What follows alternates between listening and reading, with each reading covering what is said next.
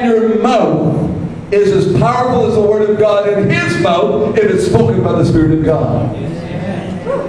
You say, whoa, hold on here, Pastor Ralph.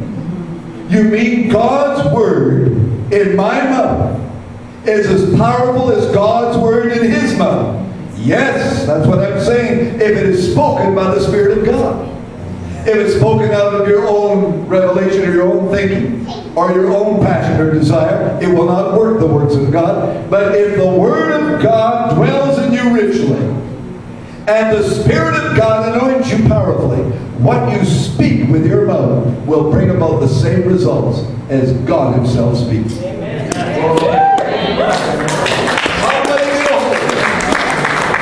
Because this will bring change in our lives. We're floundering today.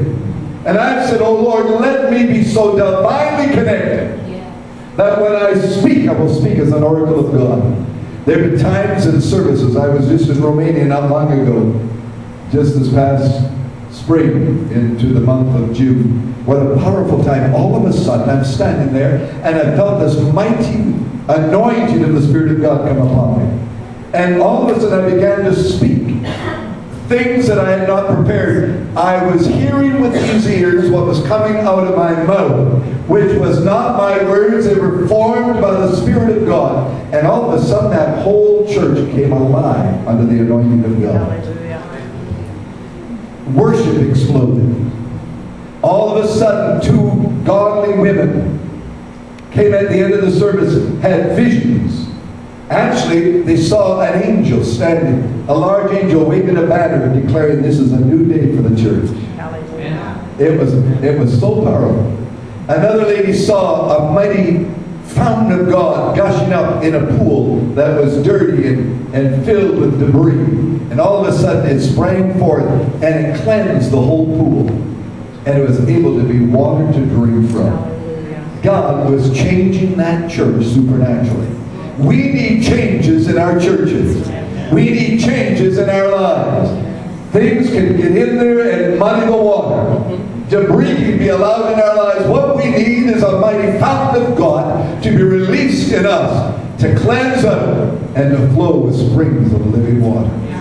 God is desirous to do great things within our midst. What will be a blockage to the operation of a spoken word? Let's look at verse 24. Therefore I say unto you, what things soever ye desire, when you pray, believe that you receive them, and you might possibly get them. Is that what it says? What does it say? Help me out. Ye shall have them. Now that's so clear, that's so powerful. If, if this wasn't Jesus saying it, I'd be wondering.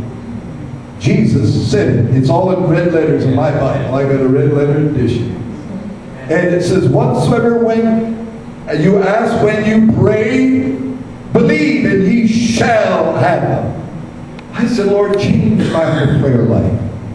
That I'm not throwing out a prayer and saying, oh, I wish, Lord. It's like throwing coins in a fountain or, or trying to draw a straw hoping that something will happen. No, this is articulation of divine expression. This is word being spoken by the Spirit of God from your heart of faith. Have faith in God. When you speak it, it shall come to pass. Oh, well, I remember when I was a young pastor, the Spirit of God exploded in the church in, uh, in Peterborough where I was pastoring. The, the building was so filled with students from the Bible college, many of them had never seen a miracle. And while I was yet preaching, all of a sudden there was an explosion of the power of God. I just finished a week of fasting and prayer. I was so connected with God that even if you said Jesus, I just weep. There was such a sensitivity to God. And there was such a release of the anointing of God at a moment that when I began to preach, I could preach anymore. It was like a thunderbolt hit the place. The people burst into praise and crying out to God. And I said, Jesus is in the house. Anything you want, ask him now. I had that kind of faith. They were bringing the lady from the back to the left, bringing her up here to the front. She was being helped because she had double Parkinson's. Her whole body, she was uh, palsy. And she was trembling greatly. And they brought her to the front. And I said, I want her to be brought to the platform. I want everybody to see a miracle. I got her to the platform, the old devil whispers my ear, so what happens if it doesn't work? Can you imagine? I'm in this great flow, and this flashed into my, into my brain. I knew where it came from, but I was already out there, too far to come back. Hallelujah. I said, bring her up here, and she stood there. And when I reached my hand, my right hand, to put it upon her head to release the power of God, I felt like fire going down this arm and shot out like the tips of the finger. Went into her body. And she stood there still trembling.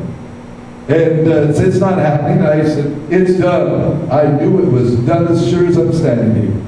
I said, let's worship God and praise the Lord. We were just praising God for the miracle, and yet she was still standing there. All of a sudden, we heard a yell. This little quiet lady shouted out, I'm healed, I'm healed, I'm healed. And I said, stretch forth your hands. She stretched forth her hands. They were as calm and still as could be.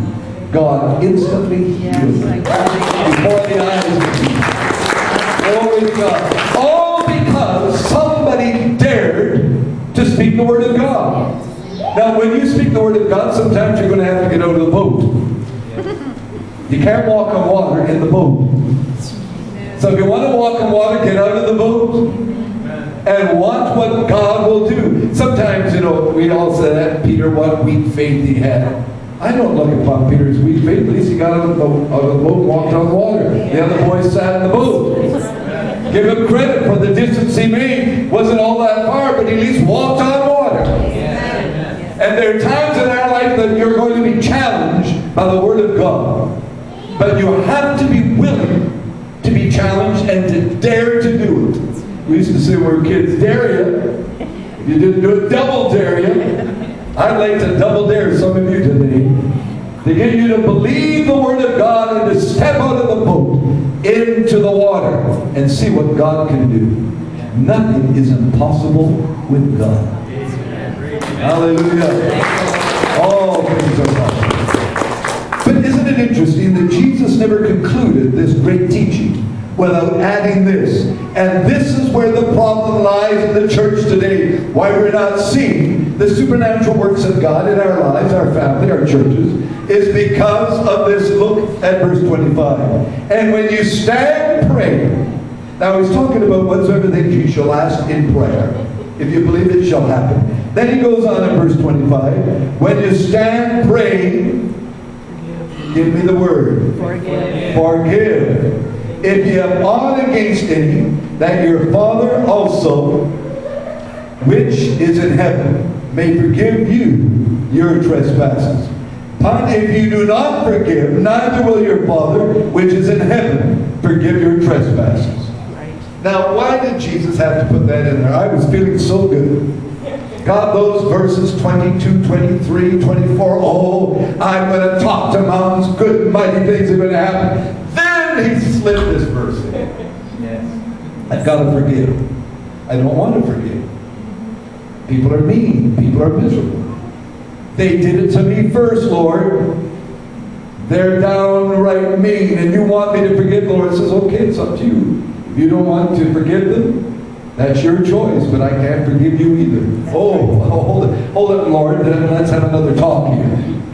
How many know we can put the brakes on real fast? We're so quick, wanting to get answers, wanting to move mountains, wanting to see miracles of God, and then we're not willing to delight the heart of the Father. Everything about the Father is love.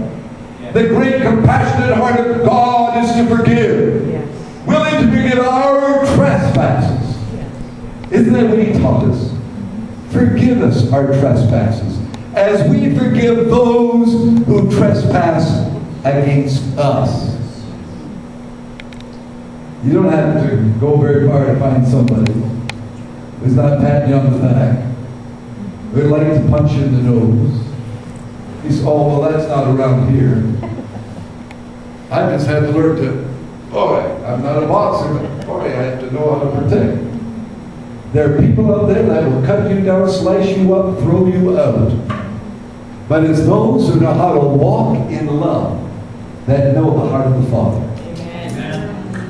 And if we can discover this, then there are no barriers or obstacles to getting answers to prayer and even mountains to be removed out of your life.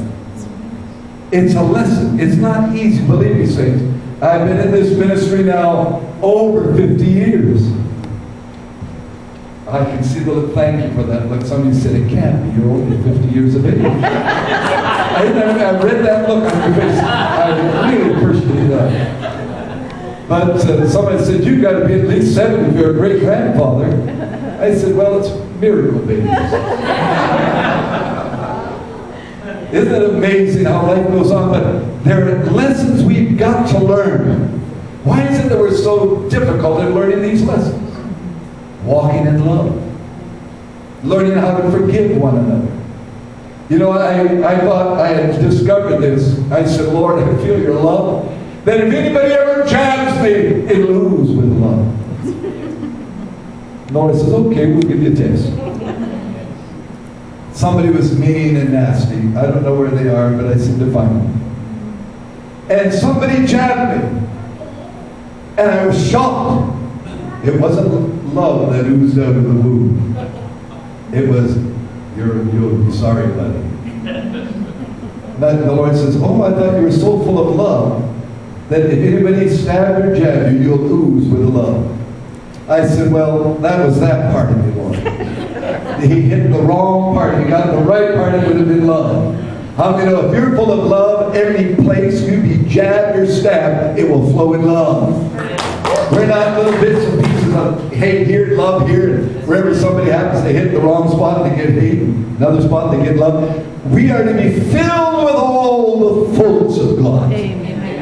Filled with love that regardless what happens, you respond in love. Now that's not easy. I'm not up here saying that's an easy thing.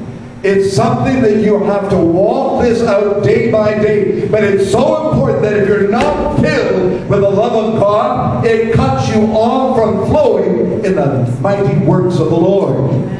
It's not worth it. I'd rather go down with all the attacks of the enemy, but rise up to say, Oh Lord, I can love. Yes. Love those who despitefully use you.